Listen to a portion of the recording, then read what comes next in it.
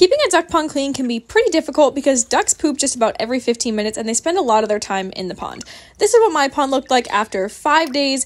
As you can see, the water itself is clean, but the bottom has a lot of dirt on it. Now, previously, when my ducks were kept on soil and I drained out the pond, it would become a huge flooded mess of gross, dirty water. But now, with the drainage rock system, all of that water goes straight into the ground and I don't have to worry about any of it.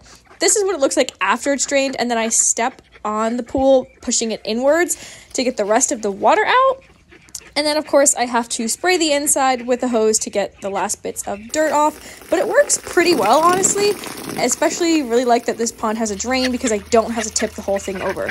Then, of course, I start filling it back up and the ducks start to get super excited. I think they really like their new pen and it's going super well. But my favorite part is that they don't get this pond dirty as quickly because their feet aren't dirty from stepping in their own feces on the rocks.